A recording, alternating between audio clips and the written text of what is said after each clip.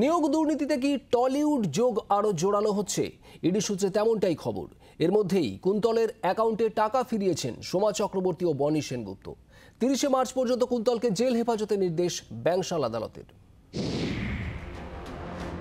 বনি সেনগুপ্ত সোমা চক্রবর্তীকে মোটা টাকা দিয়েছেন।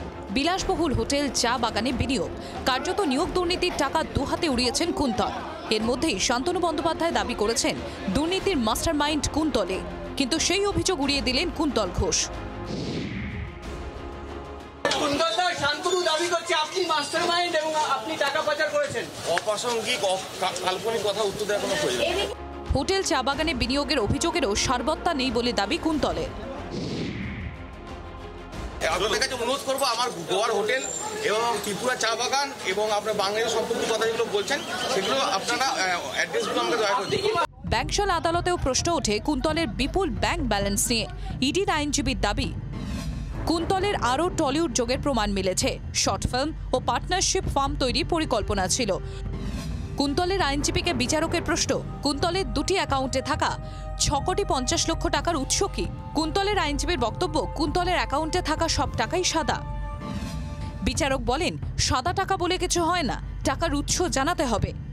এই সূত্রেই উঠে আসছে কুন্তলের আরও জোরালো টলিউড যোগের সম্ভাবনা। ইডি সূত্রের যেটা খবর তদন্তে নেবে আরও অন্তত পাঁচ থেকে ছজন। এই রকম অভিনেতাদের অভিনেত্রীদের নাম জানা গেছে যাদের কাছে কিন্তু কুন্তল ঘোষের কাছ থেকে টাকা গিয়েছিল।